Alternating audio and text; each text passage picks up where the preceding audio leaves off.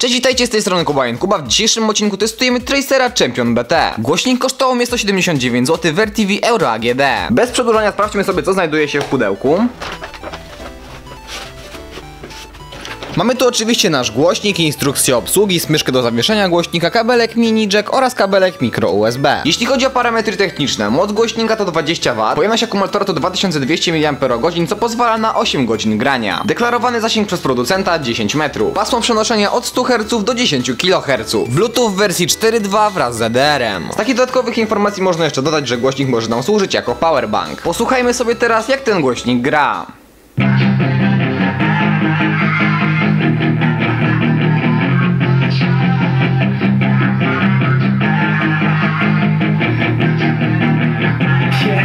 Got some nice long hair, and you know that she's a gadget. All the boys stare, can't help it, it's a habit. Clothes that she wears, short skirt and a jacket. I just wanna get her all alone on a mattress. I just wanna have it, Szczerze mówiąc to po głośniku marki Tracer nie spodziewałem się takiej jakości dźwięku. Głośnością Tracer nie powala, jednakże basy są tutaj naprawdę bardzo przyjemne. Głośnik jest dość duży, więc zapewne będziemy mieli problem z jego przenoszeniem, dlatego producent dorzucił tutaj taką smyczkę. Jej jakość wykonania jest nawet nie najgorsza. Co do samych uchwytów także wyglądają one solidnie, więc myślę, że głośnik nam z tego nie spadnie.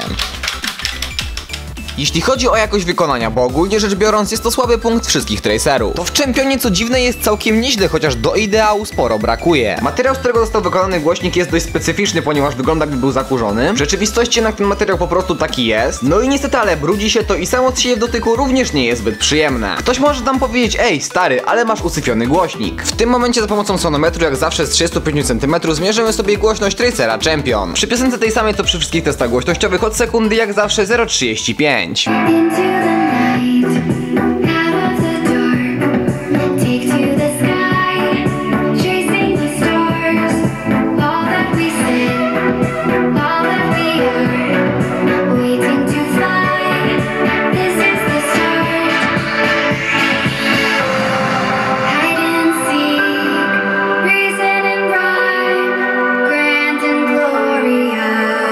No cóż, 98 dB, wynik niestety dość słaby. Także demonem głośności Champion nie jest, jednakże na pewno zauroczy was jakością dźwięku. Teraz zmierzymy sobie zasięg głośnika, jak zawsze w katapultach. Po powrocie do studia przeliczę wam to na metry. But it's too late now.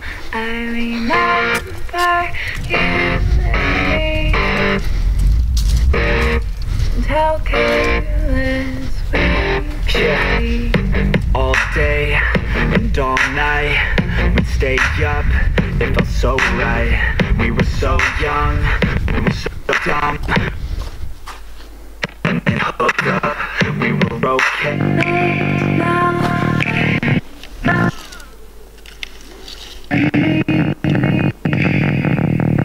To jest raz, dwa, trzy, cztery, pięć, sześć, siedem, osiem, dziewięć, dziesięć, jeden, dwa, trzy, cztery, pięć, sześć, siedem, osiem, dziewięć, jeden, dwa, jeden, dwa, trzy, cztery, pięć, dwa na sześć. 26 katapult. Po przeliczeniu na metry wychodzi, że zasięg Tracera Champion to 27 metrów oraz 30 cm. Wynik nawet nie najgorszy. Podsumowując, głośnik zrobił na mnie naprawdę bardzo dobre wrażenie i nie spodziewałem się takiej jakości dźwięku po głośniku marki Tracer. Natomiast do niewątpliwych wad tego głośnika możemy zaliczyć na przykład niską głośność. Głośnik ten jest całkowitym przeciwieństwem Mantes PK13 Go, która to nie miała praktycznie żadnego basu, jednakże była bardzo głośna. Gdybym miał wybierać między tymi dwoma głośnikami, to niewątpliwie wybrałbym Tracera. W dzisiejszym odcinku to już wszystko. Jeśli macie jakieś pytania, to zapraszam was na naszą grupę na Facebooku Basownicy Kuby. Link znajduje się oczywiście w opisie filmu. Jeśli odcinek się spodobał, to nie zapomnijcie zostawić łapki w górę oraz suba. A ja się z wami żegnam, no i narka.